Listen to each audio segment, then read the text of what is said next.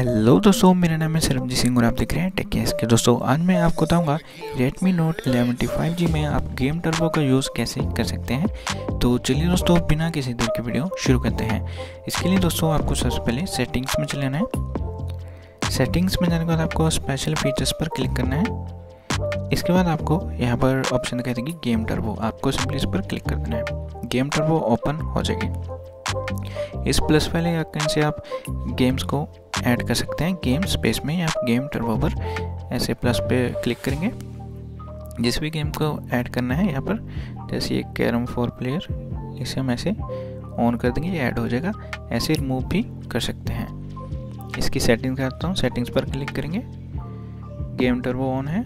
Shortcut चाहिए, वो भी कर सकते हैं। Uninstall games. एक बार में सभी गेम्स को अनइंस्टॉल कर सकते हैं। और भी सेटिंग्स हैं परफॉर्मेंस मोड अपने हिसाब से यहाँ पर सेटिंग्स कर सकते हैं। एडिशनल सेटिंग सकता हूँ। पर्टिकुलर किसी गेम की सेटिंग करनी है तो गेम को सिलेक्ट करके उसकी भी सेटिंग कर सकते हैं। टच रिस्पॉन्स वगैरह, यहाँ से विजुअल्स इन्हांस कर सकते हैं। यहाँ से रिस्टोर डिफ़ॉल्ट सेटिंग